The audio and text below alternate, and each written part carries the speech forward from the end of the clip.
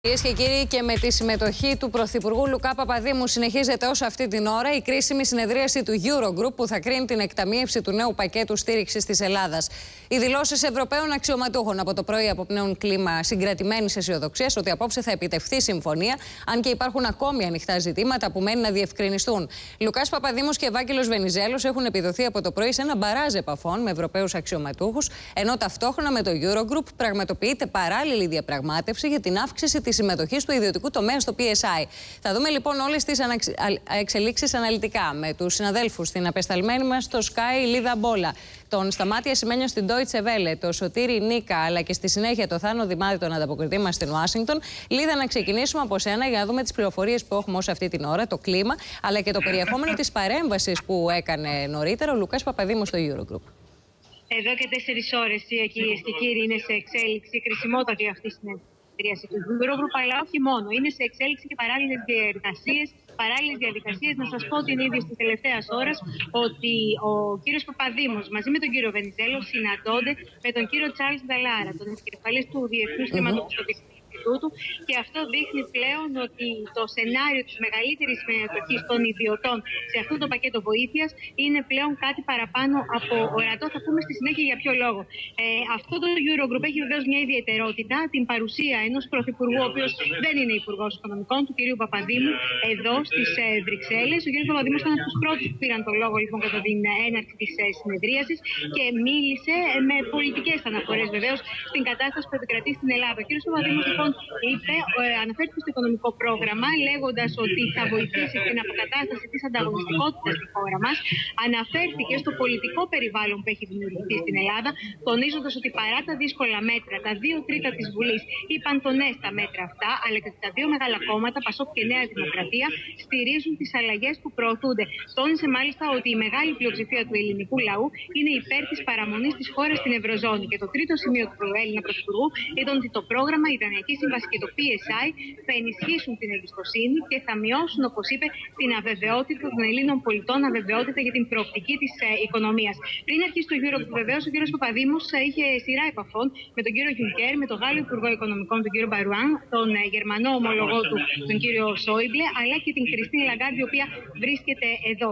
Ε, και ο κύριος Βενιζέλος βεβαίως πήρε το λόγο αμέσως μετά στη συνεδρία του Eurogroup ε, και αναφέρθηκε στα πιο πρακτικά θέματα, δηλαδή στα μέτρα που έχουν μέχρι στιγμής ληφθεί και τις προποθέσει που έχει εκπληρώσει η Αθήνα, αλλά και το νομοθετικό δρόμο πλέον που έχουν πάρει τα μέτρα αυτά αρχής γενομένης από αύριο. Λίδα, τα θέματα που συνιστούσαν αγκάθια μέχρι και την έναρξη της συνεδρίασης του Eurogroup έχουν κλείσει δεν έχουν κλείσει ίσια και αυτό δείχνει και η συνάντηση του κ. Παπαδήμου και του κ. Βενιζέλη με τον Τσάρλ Δαλάρα. Το μεγαλύτερο αγκάτι αυτή την ώρα είναι η βιωσιμότητα του ελληνικού χρέους. Γνωρίζουμε ότι η τελευταία εκτίμηση που υπάρχει από το Διεθνές Νομισματικό Ταμείο είναι ότι ο στόχος του 120% του ΑΕΠ χρέου το 2020 δεν επιτυγχάνεται. Επομένως, έχουμε ως δεδομένο ότι η Γερμανία ζητάει μεγαλύτερη συμμετοχή του ιδιωτικού τομέα και ότι οι χώρες όπως η Ολλανδία και η Φιλανδία είναι πολύ επιφυλακτικές στο να δώσουν το πράσινο φως σε ένα νέο πακέτο βοήθειας, χωρίς να έχει, να έχει εξασφαλιστεί η βιωσιμότητα του ελληνικού χρέους. Το πώς αυτό θα επιτευχθεί, θα το πείτε και στη συνέχεια, είναι μια σειρά πραγμάτων που πρέπει να γίνουν από το να μειωθεί το επιτόκιο του ελληνικού δανείου μέχρι το να συμμετέχει η Ευρωπαϊκή Κεντρική Τράπεζα ή οι κεντρικές τράπεζες των χωρών της Ευρωζώνης με τα ομόλογά τους. Αλλά φαίνεται ότι επανέρχεται και το θέμα της, ε, των μεγαλύτερων απολειών για τον ιδιωτικό τομέα. Αυτό είναι το ένα και πολύ βασικό αγκάθι. Το δεύτερο θέμα είναι ο ειδικός λογαριασμός που θα υπάρχει, θα δημιουργηθεί, ούτως ώστε η Ελλάδα να αποπληρώνει απευθείας το χρέος της και εκεί μένει, ε, μένουν ακόμη κάποιες λεπτομέρειες, ε, ωστόσο οι συζητήσεις έχουν προχωρήσει αρκετά. Και το άλλο βεβαίως θέμα, άμερικα συνδεδεμένο, είναι το τι θα γίνει με την ενισχυμένη εποπτεία που ζητείται από τους Ευρωπαίους. Σε αυτό το θέμα, απλώς να σημειώσουμε ε, την τοποθέτηση του Ολλανδού Υπουργού Οικονομικών, ο οποίος από τη δική του πρόταση είναι να είναι μόνιμη η παρουσία της Τρόικα στην Αθήνα. Ο σκληρός κύριος Ντε Γιάγκερ. Ε, Λίδα, σε ευχαριστούμε για οτιδήποτε νεότερο θα συνδεθούμε και πάλι μαζί σου για να το μεταδώσουμε αμέσως. Να έρθουμε σε σένα στα μάτια για να δούμε τι λέει και το ρεπορτάζ από τη Γερμανία. Ο Υπουργός Οικονομικών της Γερμανίας, ο κύριος Wolfgang Schäuble, προσερχόμενος σήμερα στη συνεδρίαση του Eurogroup, εξέφρασε την αισιοδοξία του ότι θα επιτευχθεί συμφωνία απόψε. Αυτό σημαίνει ότι έχουν αρθεί και οι γερμανικές επιφυλάξεις.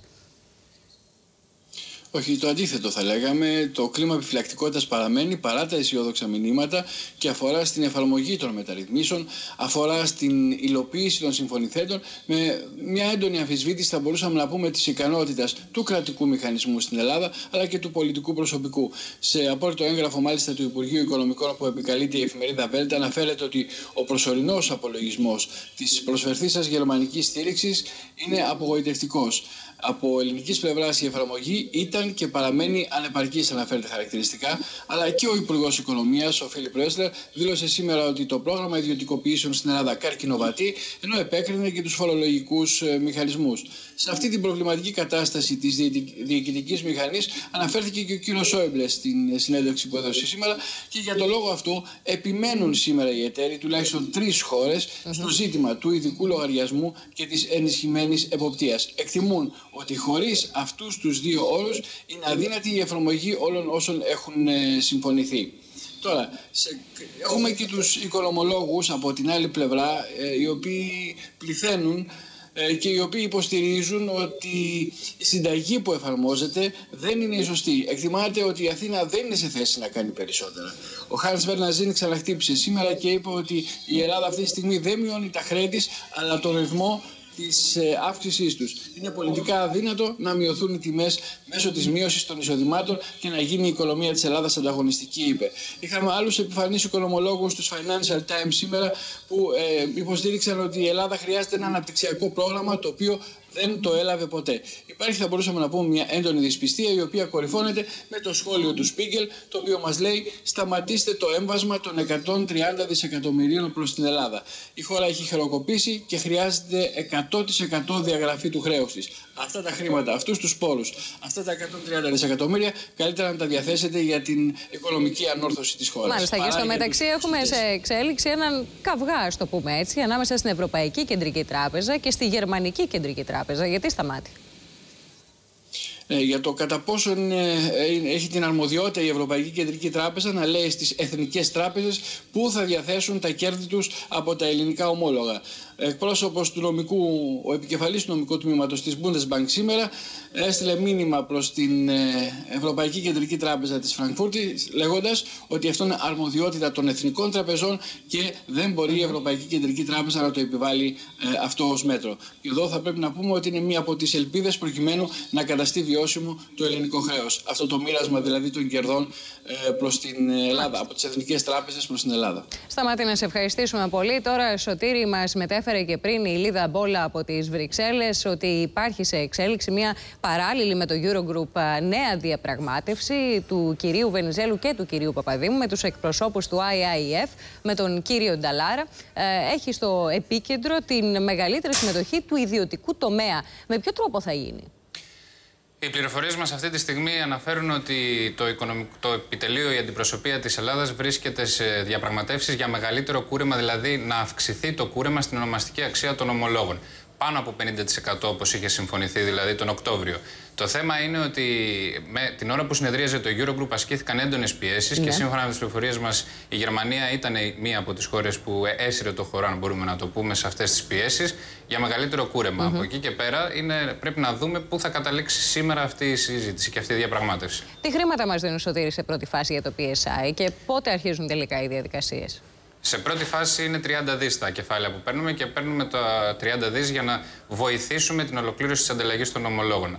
Από εκεί και πέρα, εφόσον κλείσουν όλα σήμερα ομαλά και υπάρξουν αποφάσεις και δοθεί το πράσινο φως στην Ελλάδα, τότε αύριο θα πρέπει να θεσμοθετηθούν οι ρήτρες συλλογικής δράσης. Οι ρήτρες δηλαδή που καθιστούν υποχρεωτικό το κούρεμα σε όλους τους πιστωτές, εφόσον αυτό απαιτηθεί.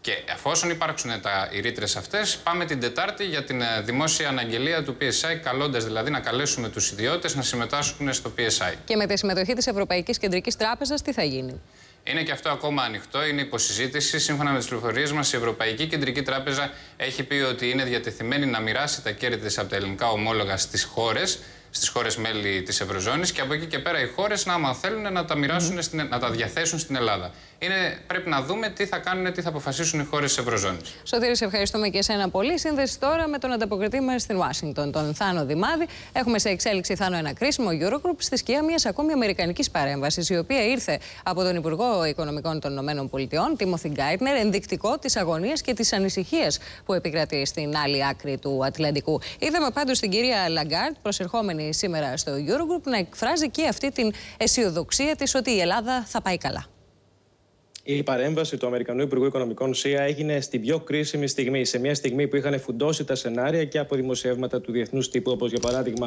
της Wall Street Journal, που έκαναν λόγο ότι το Διεθνές Νομισματικό Ταμείο είναι ιδιαίτερα σκεπτικό και ανήσυχο για το αν κατά πόσον πρέπει να συμμετέχει στο νέο πακέτο στήριξης της χώρας μας στο ποσό το οποίο έχει προβλεφθεί.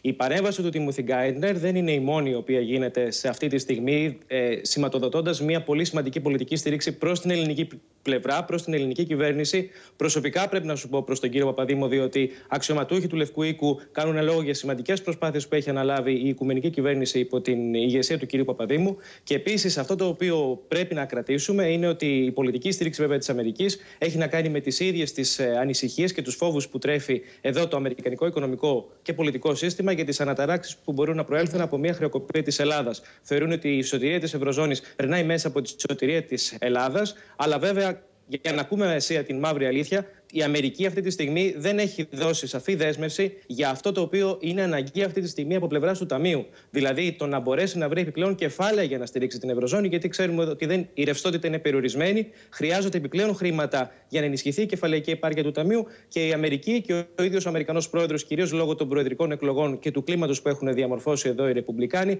δεν θέλει να δεσμευτεί ότι θα ρίξει νέα επιπλέον αμερικανικά κεφάλαια στη διάσωση της Ευρωζώνης.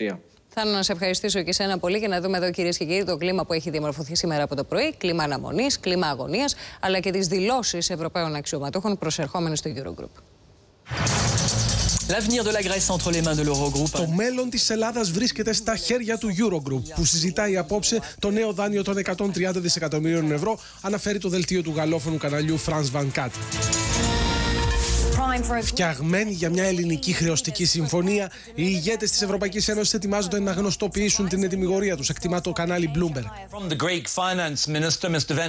Ο Έλληνας Υπουργός Οικονομικών μίλησε για μια μακρά περίοδο αβεβαιότητας που κλείνει σήμερα, μια περίοδο που δεν ωφέλησε ούτε την ελληνική οικονομία ούτε συνολικά την Ευρωζώνη. Βρισκόμαστε εδώ, έτοιμοι να ολοκληρώσουμε σήμερα αυτή τη μακρά διαδικασία για το νέο ελληνικό δανειακό πρόγραμμα. Επίσης, είμαστε έτοιμοι να εγκαινιάσουμε την επίσημη διαδικασία για την ανταλλαγή ομολόγων. Είμαι αισιόδοξος, αλλά εν πάση περιπτώσει χρειαζόμαστε μια ξεκάθαρη πολιτική έγκριση από το Eurogroup. Προσερχόμενος στο Eurogroup, ο Γερμανός Υπουργός Οικονομικών Wolfgang Schäuble εξέφρασε αισιοδοξία. Χρειαζόμαστε σαφήνεια όσον αφορά τη συμμετοχή των ιδιωτών πιστωτών για ένα πρόγραμμα που θα διασφαλίζει ότι το ελληνικό χρέος θα μειωθεί και δεν θα ξεπερνά το 120% του ΑΕΠ το 2020. Κάτι για το οποίο χρειάζεται ακόμη να γίνει δουλειά. Πρέπει επίσης να δούμε πώς θα διασφαλιστεί ότι το πρόγραμμα όντως θα εφαρμοστεί. Το γενικότερο κλίμα έδωσε προσερχόμενος ο πρόεδρος του Eurogroup, Jean-Claude Juncker. Θέλω να είμαι σε θέση να πω ότι απόψε προσερχόμαστε για τις τελικές διαβουλεύσεις. Η ελληνική πλευρά έχει εκπληρώσει πολλούς από τους όρους που θέσαμε. Είμαι της γνώμης ότι σήμερα θα καταλήξουμε σε συμφωνία γιατί δεν έχουμε άλλο χρόνο. Αισιοδοξία για επίτευξη συμφωνίας είχε εκφράσει νωρίτερα και ο Γάλλος Υπουργός Οικονομικών Φρανσουά Μπαρουάν. Έχουμε όλα τα στοιχεία για μια συμφωνία. Στοιχεία όπως η εθελοντική συμμετοχή των τραπεζών, των ιδιωτών πιστωτών και των θεσμικών πιστωτών, κρατών και κεντρικών τραπεζών είναι όλα στη θέση τους. Πραγματική αίσθηση προκάλεσε στη Σύνοδο η επιστολή προς τους Προέδρους Κομισιόν και Ευρωπαϊκού Συμβουλίου που υπογράφουν οι ηγέτες 12 κοινοτικών χωρών, μεταξύ των οποίων και ο Μάριο Μόντι, με την οποία ζητούν πολιτικές ανάπτυξης της οικονομίας και της απασχόλησης. Uh, Μόλις λάβουμε αυτή την απόφαση για την Ελλάδα, πιστεύω ότι μπορούμε κατόπιν να γυρίσουμε σελίδα, να κάνουμε στροφή από την σταθεροποίηση προς τη βιώσιμη ανάπτυξη και τη δημιουργία θέσεων εργασίας. Την ίδια ώρα που το δίκτυο Al Jazeera μετέδιδε για τη συνεχιζόμενη οργή στην Αθήνα ενάντια στα μέτρα λιτότητας για ένα πολύ δυνατό και πολύ δύσκολο πρόγραμμα μεταρρυθμίσεων που αξίζει τη στήριξη της διεθνούς κοινότητας, έκανε λόγο ο Αμερικανός Υπουργός Οικονομικών Τίμοθι Γκάιτνερ, υποσχόμενος ότι οι ΗΠΑ θα ενθαρρύνουν το Διεθνές Νομισματικό Ταμείο να στηρίξει αυτή τη συμφωνία. Την πεποίθηση ότι η Ελλάδα έχει κάνει μια πολύ σημαντική προσπάθεια εξέφρασε προσερχόμενη στη σύνοδο του Eurogroup στις Βρυξέλλες η επικεφαλής του Διεθνούς Νομισματικού Ταμείου Κριστίν Λαγκάρντ. Τώρα πρέπει να συνεχίσουμε τη δουλειά και να μπουν στη θέση τους όλα τα άλλα στοιχεία που φέρνουν στο τραπέζι τα υπόλοιπα μέρη.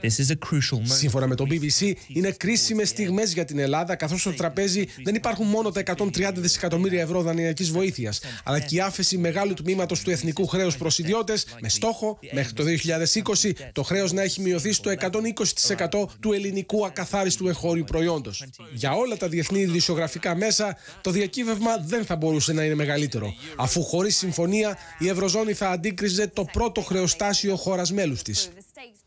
Να καλησπέσω εδώ τον Μπάμπη Παπαδημητρίου. Όλοι οι αισιόδοξα μηνύματα εκπέμπουν σήμερα, Μπάμπη, αλλά όπως μας έχει μάθει αυτή η κρίση, πώ το έχεις πει, τίποτα δεν έχει τελειώσει, αν δεν τελειώσει. Αν δεν έχει τελειώσει λοιπόν. και, και ακόμη και τότε το ψάχνεις.